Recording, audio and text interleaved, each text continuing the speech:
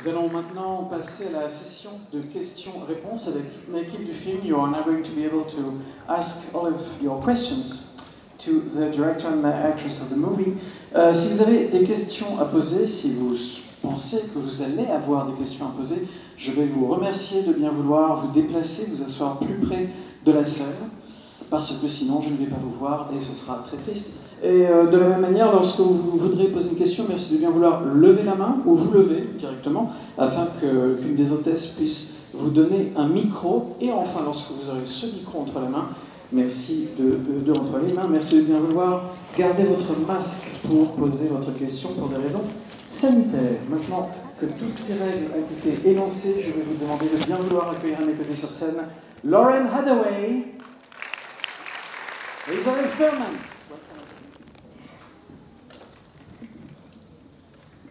Y a-t-il une première question dans la salle? Je vois quelqu'un au troisième rang ici, madame. Hi, um, congrats. I mean, as it, uh, did a lot of things to me, uh, but especially the music and obviously the acting and directing. I truly thank you. Uh, but I saw in the program that you worked with music before in several movies, and I was wondering what your process is. And for you, I was wondering if it was part of the process as an actor. Um, yeah, so the music, my, my, my first career actually come from a career in sound design, so I've done a lot of sound design and editing, uh, and that was hugely influential on this film, very important. And the music selection too was something that I sort of uh, came up with very early on. I heard I had this playlist going, and I heard this song. I believe it was Aldila, which is the middle foggy row sequence. And I, I heard that song, and this image came to my head. The scene that just like we shot. That was the first day of shooting, by the way, and it was fucking magnificent, and the fog and everything.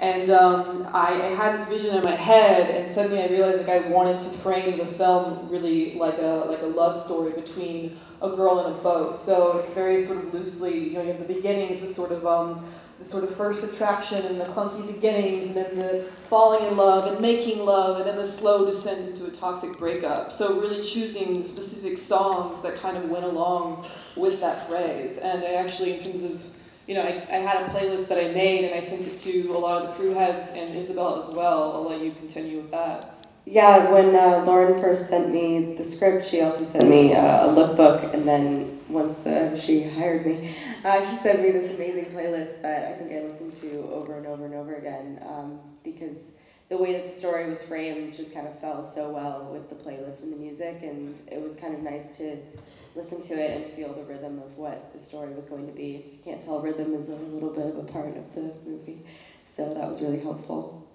And uh, our incredible Alex Weston, who did the score. Um, oh, there's a story about Alex Weston. I mentioned earlier that I only listened to French music for a year, and I was not joking. Um, there was a point last year when I was so sick of hearing the French word, I could not listen to one more piece of dialogue, and I was going on this drive, it was a pandemic, and so all I could do in LA, I could go on this drive through the mountains, and I did it every single day. And one day I'm like, I can't listen to any more French music, I gotta play something without lyrics, and I played this, um, this playlist from uh, Le Portrait de la Jeune Fille en Feu, and there was some other uh, song, like other tracks on it from other films, and a, a track from The Farewell, who Alex Weston scored, came on, and again, just like that first song that I heard, I heard this score track, and I just had this moment of inspiration because the score was the one thing about the film that I never really had a clear vision of what I wanted, and I had changed it like three different times in the editing process, and it just like did not sit right with me. But I heard that track, and everything changed. I went home, I cut seven minutes out of the film, which had been 100 minutes for like nine months, and I went, this was the 11th hour, right before festivals and everything. Cut seven minutes out of the film, re rescored the entire film with the music from Alex Weston, and then I like sent him this email and the film with all his music in it.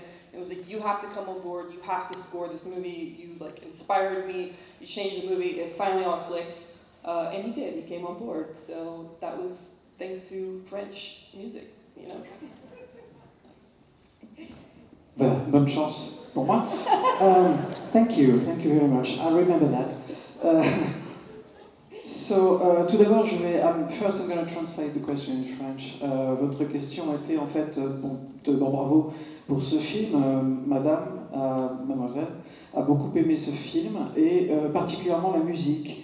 Euh, qui, euh, qui, joue un rôle vraiment euh, très important. Donc la première question en fait était pour Lorraine.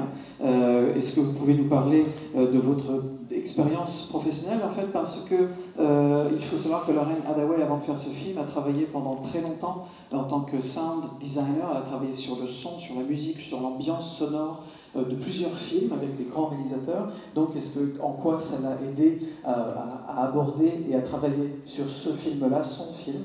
Et puis également demander à la comédienne Isabelle de nous parler aussi de son processus de travail par rapport à la, réalisatrice et par rapport à tout ça. Euh, Lorraine nous dit que euh, en fait, au départ, donc, elle était euh, sound designer depuis très longtemps. Elle a également travaillé sur le montage, donc c'était des éléments qui sont très importants pour elle, travailler visuellement et de manière auditive sur le film, comme on a très bien pu s'en rendre compte avec ce film-là. Euh, et en fait, au tout départ, euh, ce qui s'est passé, c'est qu'elle a fait la sélection de, des, des, des, morceaux de musique qu'on entend dans le film. C'est une sélection qu'elle a fait très très en amont de la fabrication, de la conception du film. Elle a même entendu certaines chansons, comme la chanson qu'on voit, comme la chanson la musique qu'on voit à un moment donné dans le film, lorsqu'elle est en train de faire de l'aviron, je sais que je parle de 90% du film, mais cette séquence où elle est dehors, où il y a le brouillard, c'est une vision que la réalisatrice a eue vraiment très très tôt dans le développement du film. Et, euh, et c'est ça, en fait, ça a été pour elle, quand elle a entendu cette musique, c'était le point de départ de toute l'inspiration qu'elle a eue pour raconter cette histoire euh, d'obsession. Elle voulait faire voir une espèce d'histoire d'amour, tout simplement, traiter le film comme une histoire d'amour, entre guillemets classique, entre une, entre une jeune fille et un bateau. Et, et faire voir cette histoire d'amour avec euh, la montée, l'excitation, euh, l'acte physique, sensuel, charnel avec le bateau, euh, comme avec un être humain. Et puis à un moment donné, la séparation, la chute, euh, et faire vraiment ressentir ça de manière viscérale, avec des gros plans, etc.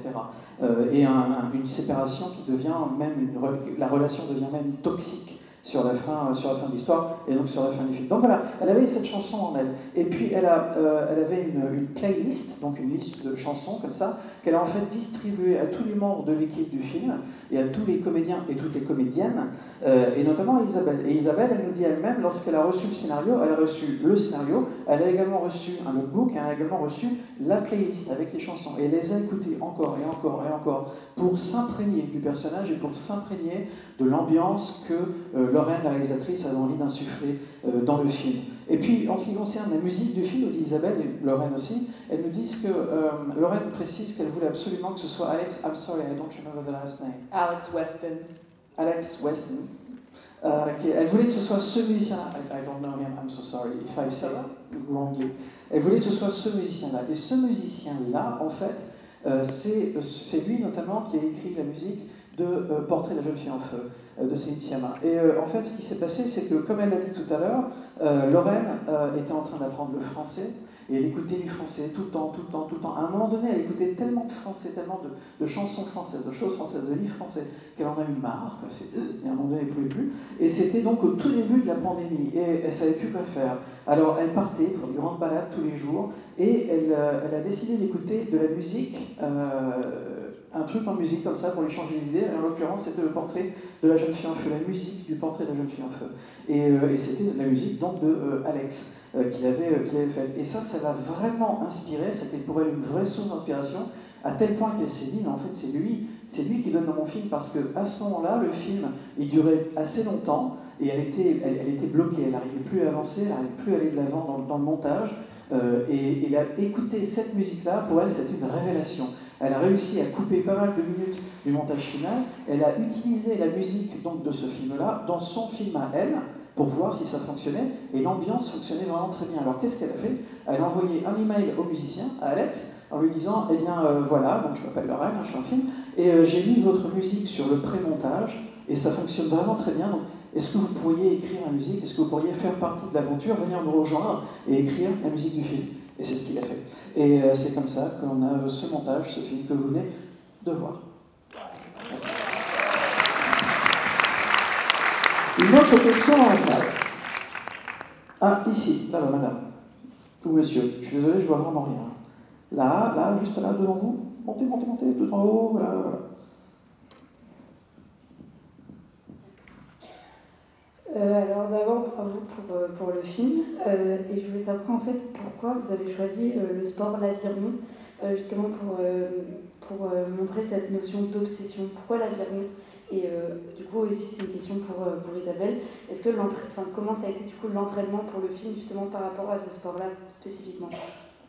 Uh, the question is about rowing. Why did you choose that sport specifically to talk about, you know, these and uh, determination and losing yourself in the sport, really in the training, and also about you. How did you train? Because it's a very physical sport. And how did you do that? Did you do it actually before the movie? Did you have that experience uh, beforehand, or did you just learn everything from scratch from the?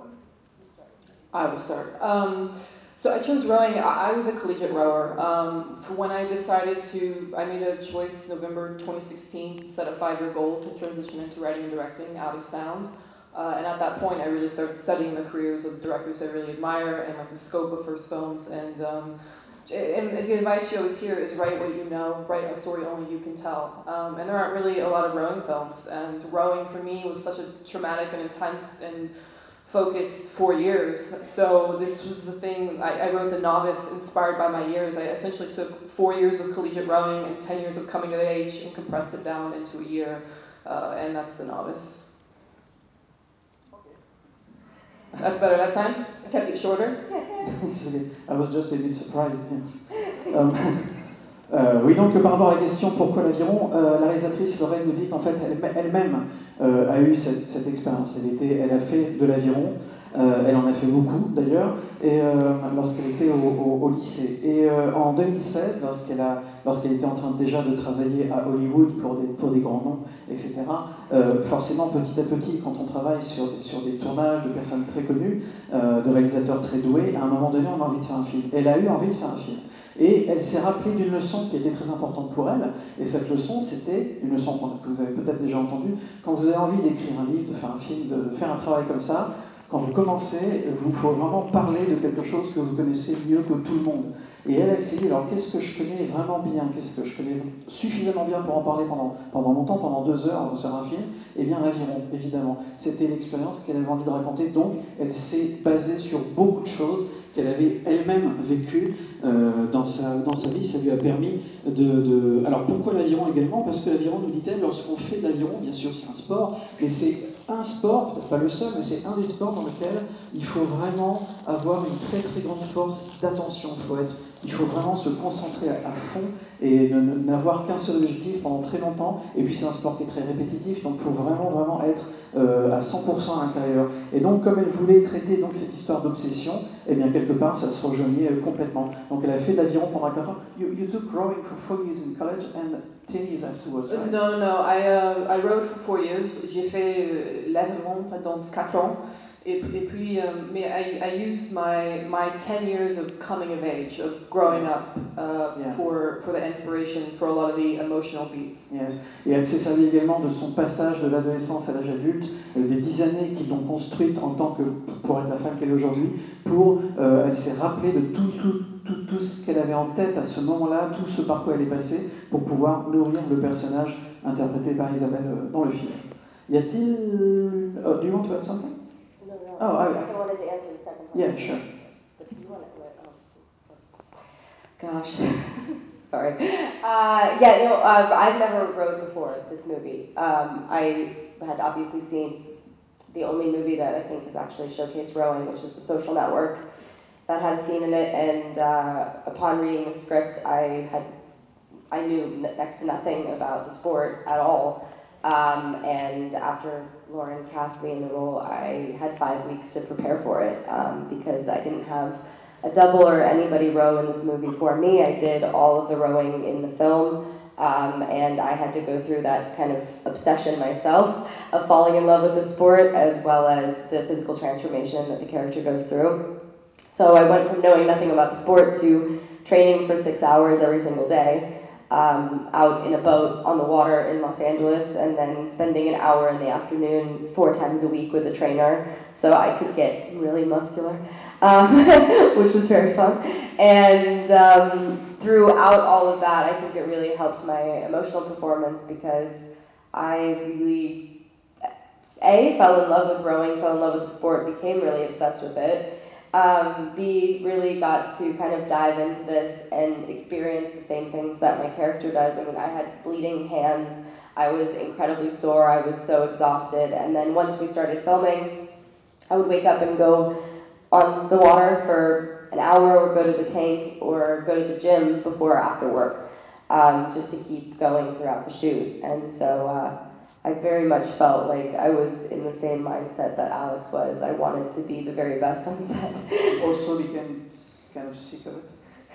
I, I didn't actually until after when I realized that it was over, and I haven't done it since. yeah, well, it's understandable.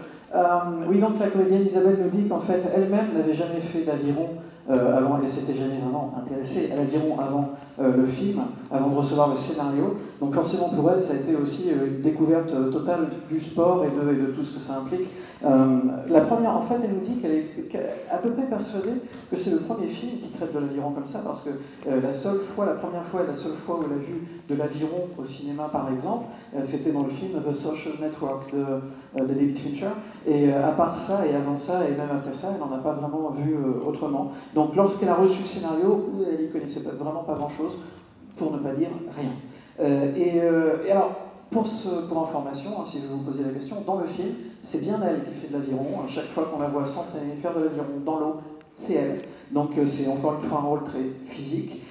Et, et, en fait, c'est presque, enfin c'est pas presque, c'est oui, c'est devenu une obsession pour elle aussi l'aviron, parce que pendant tout le temps du tournage, avant, pendant le tournage, euh, elle s'entraînait vraiment à fond. Elle a passé 6 heures, 7 heures à s'entraîner, à être sur l'eau, à être dans le bateau, euh, à faire les mêmes mouvements tout le temps. Euh, donc ça faisait vraiment partie de sa vie à, 100%. Et elle, elle, allait même s'entraîner dans les salles de sport avec un coach pour pouvoir être de beaucoup plus musclée. Ce qui d'ailleurs nous dit-elle, c'est pas plus mal, hein, c'est bien, ça peut servir pour la suite. Et, et donc ça, et il y avait également, ça pouvait servir, elle le savait, que ça servirait sa performance au niveau émotionnel, parce que ce qu'on voit finalement dans le film, c'est presque un documentaire. Ce qu'on voit dans le film, en fait, c'est aussi tout ce par quoi elle est passée. Parce qu'elle est aussi passée par tout ça. Elle en a eu marre, c'était difficile, c'était compliqué. C'était vraiment très, très physique et très, très difficile pour elle en tant que, comédienne. Et donc, elle a eu quelque part la même expérience que son personnage euh, dans le film. Euh, et alors après, je lui demande, allez-y.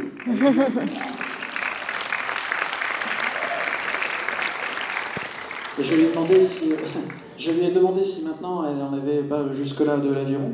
Et elle me dit oui, alors sur le moment non, mais maintenant que le temps a passé, etc., oui, elle n'a pas très très envie de, s'y replonger immédiatement, on va dire. Y a-t-il une autre question dans la salle? Alors je crois que monsieur, et après on ira par là. Monsieur. Merci, pour le film. Euh, j'aimerais rebondir juste vite fait sur euh, The Social Network, pas pour l'aviron, mais parce que c'est aussi un film d'obsession. Et euh, pour dire que c'est un film d'obsession, mais qui n'est pas sportif, ce qui est la plupart des films d'obsession, c'est plutôt des des mathématiciens ou des personnes comme ça, plus psychologiques, qui pètent des câbles. Et euh, justement, c'est un truc qu'on voit un peu au début du film. Elle a le carnet, puis le carnet au fur et à mesure disparaît, puis ensuite il y a les marques sur son corps. C'est un truc dans le développement du film où plus ça va, plus ça devient physique. Et j'aimerais savoir si c'est quelque chose qui s'est créé dès la base du scénario, plus tard, est-ce que c'est venu au montage, etc. The gentleman wishes to know where you were talking about the social network a few uh, minutes ago, and actually there is also something else that he sees as a common trait between your movie and the social network. It's the fact that social network is a movie about obsession, you know, being obsessive, but not about sport. And uh, this this guy says, uh, this man, this gentleman, says, you know, uh, in the film at the beginning there is some, you know, it's very like the school environment is very present, but it's like disappearing, and then some marks, some, you know, wounds appear on the body, and, and it's changing, and um, he wishes to know if all of this was very uh, present from the stage of the script. When you wrote the script, it was already what it looks like now, or did it change and evolve while you were shooting, or maybe while you were editing the film? Um, there's a cliche that I, I love and I believe in that you write a film three times when you write it, when you direct it, and when you edit it. And um, that is very true for this film. So, a lot of these elements did exist in the script stage. A lot of them were developed when you get with a very talented actress like Isabel here.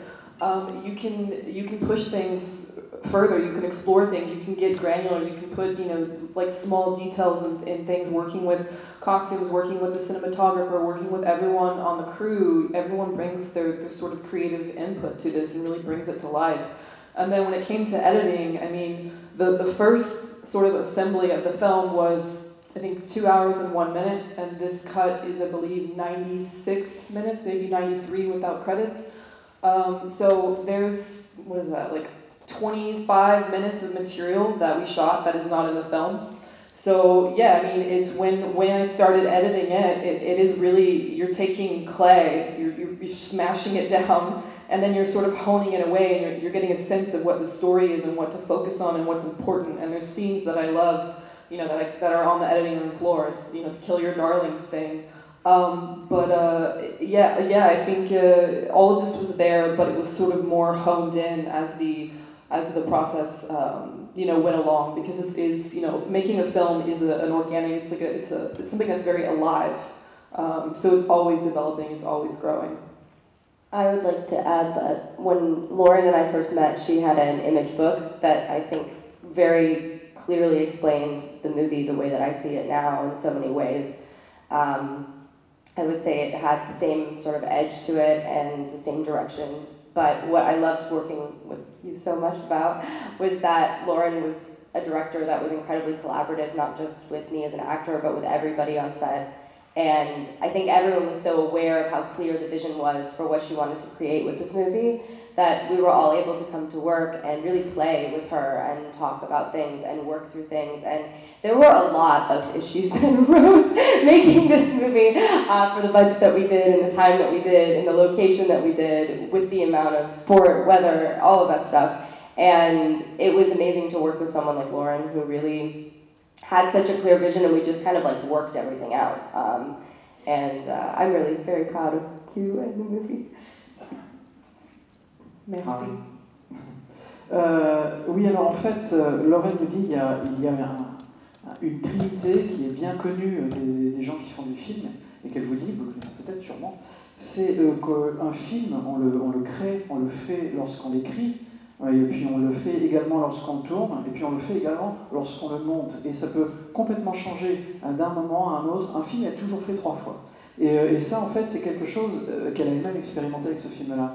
Il y a beaucoup d'éléments, énormément d'éléments du film qui existaient déjà euh, au, stade du scénario, qui était déjà écrit, mais il y a beaucoup de choses qui sont venues sur le lieu de tournage. Euh, parce que parce qu'il y a beaucoup d'impondérables, il y a beaucoup de choses qu'on ne peut pas prévoir. Euh, et il y a également ce qu'on appelle des, accidents heureux, c'est-à-dire tout à coup, il y a une situation qui fait que, ah bah là par exemple, je voulais pas de, de brouillard, par exemple, sur cette scène-là, mais aujourd'hui il y en a, et bah c'est pas plus mal, etc., etc. Donc il faut savoir jouer avec les choses qu'on ne peut pas maîtriser, et puis il faut savoir également écouter, bien sûr, c'est aussi à ça qu'on reconnaît un bon ou une bonne réalisatrice, c'est euh, savoir écouter les conseils que les différentes personnes qui travaillent avec vous, euh, pas pour vous, mais avec vous, euh, les idées qu'elles peuvent avoir pour pouvoir porter le film plus loin dans, une direction ou une autre. alors donc encore une fois, il y a beaucoup de détails, des détails de costumes, des détails de, d'aspects, des détails de, de, cinématographie, par exemple la lumière qui peut être un peu mieux comme ci euh, ou comme ça. Il y a beaucoup de choses comme ça qui peuvent influer au moment du tournage. Donc ça c'est pour le tournage. Et ensuite en ce qui concerne le montage, elle nous dit, et c'est une analogie qui est très intéressante, que lorsqu'on monte un film, c'est un peu, vous savez, on arrive avec, bon, évidemment aujourd'hui tout est numérique, donc on arrive avec plein de cassettes digitales, de disques durs, avec beaucoup, beaucoup, beaucoup d'images, et c'est exactement comme si on arrivait en tant que sculpteur avec une énorme, un énorme tas de, de glaise, vous voyez, qu'on pose sur la table, et puis ensuite, avec un couteau, il faut tailler là-dedans un peu partout jusqu'à ce qu'on ait la forme qu'on veut obtenir. Et c'est exactement ce qui s'est passé. Le, son premier montage, le tout premier montage qu'elle a fait, ce dont elle parlait tout à l'heure, le film durait deux heures et une minute. Et puis après, elle a commencé à couper dedans, couper, couper, couper, couper, pour arriver à ce que vous venez de voir, c'est-à-dire 93 minutes, 1h33, 93 minutes hors euh, générique.